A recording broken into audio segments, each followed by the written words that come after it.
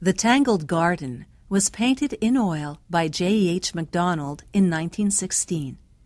It measures 121 by 152 centimeters and was a gift to the National Gallery in memory of Richard Southam in 1937.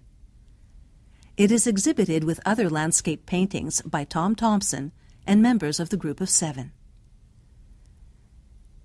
This painting depicts the artist's garden in Thornhill, Ontario in late summer.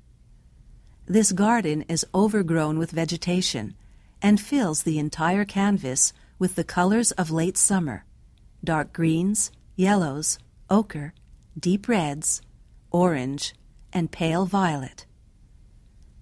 Several drooping sunflowers are dispersed throughout the garden. They emerge from wild grasses and flowers.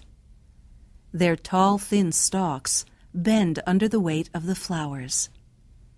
The sunflower on the left takes up almost the entire height of the canvas. It is illuminated by the sun, its head drooping over to the center of the canvas. Brightly colored flowers soak in a small ray of sunlight and draw our attention back into the garden, where trees, including an apple tree, provide the shade. Beyond the garden is a wooden building.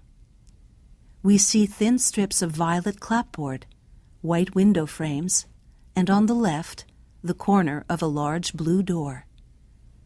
A small patch of light blue sky is visible in the upper right hand corner.